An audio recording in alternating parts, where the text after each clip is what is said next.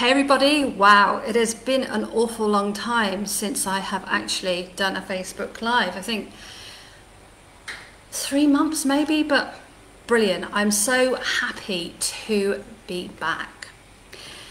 So for the first video, what I wanted to do was to talk about a number of reasons as to why coaching programs fail.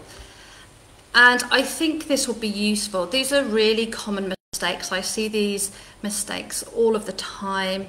When I start working with clients, these are the common things that come up for them. So I thought I would share them with you because you might have something similar playing out in your own programs. So what I'm going to do is I'm going to talk about the first reason that coaching programs fail today. And then I'm going to do another four videos on the other four topics and reasons as to why those coaching programs are failing because it's quite a lot of content and I don't want to overwhelm you. Well, it's great to be back, as I said, and it's lovely to actually share some knowledge, some insight, and some expertise with you. So, I wanted to, as I said, do this step by step, layer upon top of layer on top of layer. Now, you may be listening to me and thinking that Actually, that makes a lot of sense, Wendy. That's exactly what is playing out for me.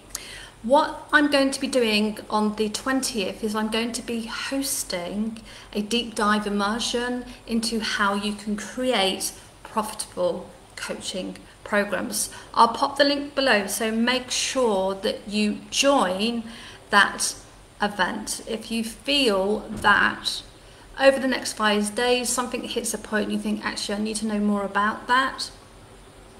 That's where you need to be. You need to be on that deep dive immersion. Okay, so the first reason that a coaching program will fail is that it's not focused on results. It's not focused on helping the client to achieve results. Now, I know when we're training, we're often told that the clients have all the answers, but I don't think that is necessarily true. And I also think it is a little bit cruel to keep people in a place of significant pain when they don't actually have the answers. So I take more of a leadership role, my clients take more of a leadership role. They use coaching as a tool within what they're teaching their clients. So Number one, absolutely, is that their offer is vanilla. It isn't results focused. And there are quite a few problems that can occur when this happens. It makes business really, really difficult. It makes enrolling clients really difficult because they don't know what they are buying into. It also makes programs really challenging to deliver because they've got no focus. So what ends up happening is a lot of time is wasted by the consultant, by the coach, because they're having to deal with what's been presented in the room each week without having a plan to follow. It reminds me of a uh, counseling counseling session that you'll go to, and you you go in and you present the challenges, and the um, counsellor will sort of nudge you in a a direction. They don't take much of a, uh, a, a leadership role, which is fair enough. That's not what they are employed to do. So they, you go to each session, but you ne- don't necessarily get that much out of it because there's no direction. You go into the session the week later, and then you still feel as if you're in the, the same spot that you were the week before, or even when you first started. So what I'm trying to um, say is that when you are able to work towards results with your clients, it makes it much easier, not just for you, but it also makes it easier for them as well because they can understand the value of what it is that they are buying. So, not working towards clients' results and achieving success creates a whole load of other problems, not just in the delivery of working one to one or in group sessions with your clients, but it impacts on the marketing and the sales process as well. So the coaching program may not ever get off the ground because it's too vanilla. There's no promise, there's no direction. It's not clear what that individual is actually buying into. I'm just looking at my notes, sorry, if you're wondering what I'm looking down at. Yeah, the focus is just too much on the client having the answers. So there's a really easy way to fix this. And I know for a lot of people this will go against the grain because, as I mentioned earlier, in our training, we are taught to be led by the client. The client has all the answers. And I know people are fearful, and they don't need to be, they are fearful of making a promise to somebody. So if I think of a promise that I've I did last year was that you'd become an Amazon number one bestseller. So I have to work towards with the client towards that goal. I am much responsible as they are responsible. And the ickiness comes when people believe that the power is in the um, client's control, that if they don't take the action, they're not going to get the results. Well, of course, that's true. If they don't take the action, they're not going to get the results. Absolutely. So you want people who are highly motivated and engaged and ready to do the work. Um, but I believe it's a bit of a cop out for us to say, well, it's just down to the client whether they decide to do the work or not. I think we have more of a responsibility to craft programs in a way that helps them to gain confidence, to get insight, to get clarity, to take inspired action, to do the work. Of course, this is all in part of your um, onboarding process, your unrolling process, is to find out how motivated that individual is to work with you. But I do think it's a bit of a cop out when um, people stand back and say, well, I can't um, promise something because they might not do it.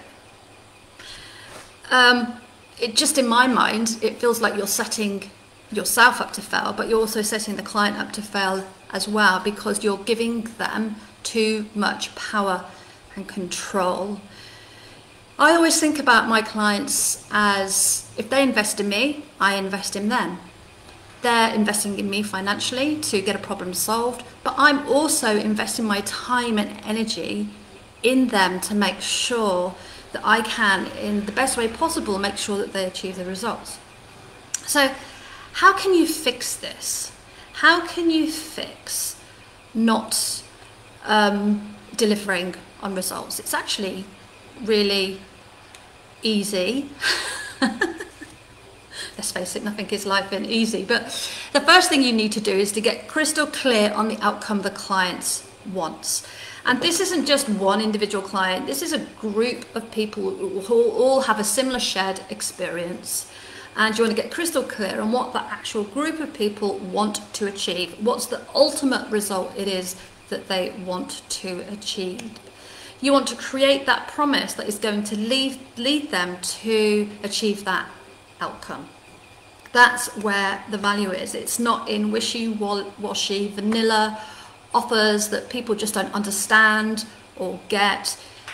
words are used that are too um, vague, like um, confidence, self esteem. It, me, it means nothing. It has to have context, confidence to do what, to raise your self esteem to do what, what do people want. Um, so recently I was working with a um, client whose initial offer was focused on relationship coaching. But that was just one tiny aspect of what it is that she did. But, you know, relationship coaching is a common um, term. It doesn't say to me what actually the person does. Relationship, relationship with who? My cat, my dog, um, work, my partner. It's it's too broad. Because she's so much she was so much more than that. Basically the essence for her was about helping women to make a decision whether they wanted to stay in their relationship or not. That's a big difference and a very different program to maybe something that a relationship coach would create. So the focus of her program had to lead people on a journey to feel confident to be able to make the decision to leave their partner or not, to stay with them or to go, to have the confidence to do that.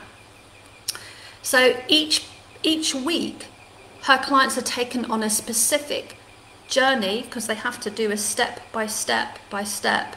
You can't. Um, it's a bit like what I do with the business coaching. Is you know, you have to find out what you're about first before you do anything.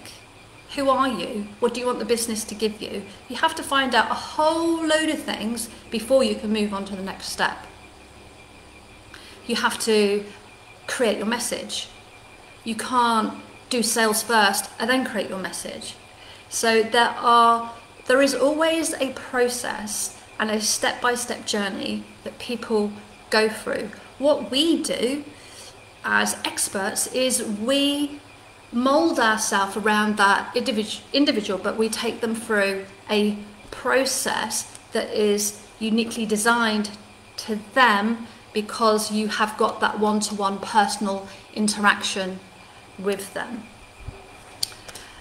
So each step of her program leads on to the natural next step. If there's any resistance that comes up, if there's homework that hasn't been done, she can then hold that person accountable and work through those blocks with them. So she absolutely has their back 100%. Absolutely. Without a shadow of a doubt. So, to help someone to make a decision, you have to lead. You have to lead with the program. You have to use not just coaching skills, but a variety of different skills it is that you have in your toolkit. So, as I said, her program takes people through step by step a clear process, and the outcome, the promises that they will feel empowered enough to be able to make a decision whether they want to stay or go. And the nice thing about that is that you can have another program off the back of it that supports either one's either one of those decisions. And there's a lot of work that you need to go through to move somebody into a position where they feel confident enough to make the decision to leave or go. It's a significant piece of work. So, her program also helps her clients to achieve quick and easy wins because each week they are given a piece of homework that they need to go and do, which then builds their confidence, their self esteem, they get insight, they can see things from a new perspective and then they come come back into the following session the week after and she can have a conversation about them. Okay what have you learned what's going on? Um, what is it that you've done? How do you see things differently? Whatever the conversation needs to be those specific homework tasks are really important because they help the individual stay motivated to take action. They're constantly moving forward. They're constantly moving forward to achieve the outcome it is that you've promised them, basically, that they've invested their time, energy, and money into working with you. What's really important is that she also holds people accountable. And I always say to my clients, um, always, everybody, that you know, if you haven't done the homework, that's fine. Please don't cancel the session. Just turn up and we'll have a conversation about it. So I'm 100% there for my clients. She's 100% there for her clients because she holds them accountable in the decisions they're making along when she's working with them. So she's got their back every step of the way. It's also great for her because once you are focused on results, you have a very clear path that people are going to follow. It means that she's been able to increase her fees. So before she was working by the hour, now she's working and has increased her fees significantly to work with people over a longer period of time. Now, what's nice about that is not only has she like gone from an hourly fee to making just over 2,500 per client, but it also means that she gets time back because the program is repeatable. So she saves a ton of time and a ton of energy. So she gets some of her life back, which is what she wanted. She wanted to be able to fall in love, back in love with the business. What's also about great about working this way towards results is that she'll instantly become more credible. People rave about her more. She'll get more referrals from the people it is that she has worked with. She knows exactly what her content is. She knows what to say about what. She knows where everybody is in the journey with her. That's worth its. It, when you get to that point, it's worth its weight in gold you know, to have time back, to be able to relax, to be able to go into each session and know that you're working towards this piece of work with an individual is worth its weight in gold.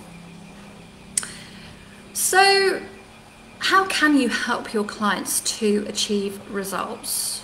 Well, you have to have a great promise. What are they going to achieve from working with you? What are the results going to be? You've got to be absolutely crystal clear on the journey, the steps that they're going to need to take to achieve it. Now, you don't need to give them the kitchen sink. You don't need to explain the intricacy of how you've made a decision for them to do this exercise. So I see this an awful, awful lot is that people give so much content, they over deliver and then someone just gets confused and they can't get it. What you want to do is give them the rawness of the exercise it is that they need to do as the homework, not the whole explanation as to why. You've got to really um, carefully think about the process they need to go through. That's how you're going to help people to achieve results, quick wins. Those small quick wins are going to build up, build up, build up, build confidence, build self esteem, have a new perspective. Um, they'll feel as if they're in momentum, changing, moving forward. It's how you get fantastic results. You absolutely need to add in accountability, whether that accountability comes from you yourself or you have a head coach who is dealing with the accountability side of working with your clients it's really important. The accountability, holding people accountable, is critical to helping them to get results. Um, oh, something flashed into my brain then, but I've completely forgotten. I've completely forgotten. Ah, that's what it is. The value often comes. I mean, ultimately, what people are paying for is having a conversation with you, to be led and to be guided to get the results it is they want. The value is in the conversation with you. If you don't hold people accountable through a conversation, then they're going to be more likely not to succeed. We all know, we have all experienced uh, enrolling for things. There's been no accountability and we haven't done it. I've got a couple of courses that I've bought, I've never done because there's been no accountability because I haven't been able to have that conversation. To me, that's where the magic happens. That's where the magic happens with my clients. It's with not just the training and the coaching, but it's having that conversation, having their back, letting them know that I am there for them no matter what. That's an amazing value. That's how you help your clients to achieve results is breaking things down step by step by step. What do they need to do first before they can move on to the next step? Where are we heading? What's the result? You know, working backwards from that. But also making sure that you're not just doing this for one person, but you're doing it for a group of people. So you can move away from charging by the hour, you can move away from constantly over delivering, overworking, and you can get the program into something that is crystal clear, that is repeatable. So what I'm going to be talking about tomorrow is the second reason that uh, coaching programs fail, but results is definitely the one that hits the number one spot for me is because too many programs are wishy-washy. People don't know what they're buying and when people don't know what they're buying, they're not going to buy. So I on the 20th, I think I mentioned it at the beginning. At the 20 on the 20th, I am going to be running Essence. That is a five-day deep dive immersion, which is completely free, and it's about creating highly profitable programs that deliver every time for clients. I'll pop the um, I pop the details below. Hopefully my eyes haven't been jumping all over the place. And I have actually gone live because I didn't check. Oh, Karen, lovely. So Karen's just said, I love working with you, Wendy. More helpful than I thought it would be. That's fantastic. Oh, I'm going to have to take a screenshot. Shop. Shot. yes, the pleasure was all mine, darling. Okay, so tomorrow I'm going to be talking about the second reason that coaching programs fail. There's five altogether, so you can come back to these videos and watch them, but I'm going to stop rambling now because I think I uh, have covered everything that I wanted to cover. If you've got any questions, pop them below, and I'll also pop the link below for the deep dive immersion as well. Take care, and I will see you guys tomorrow.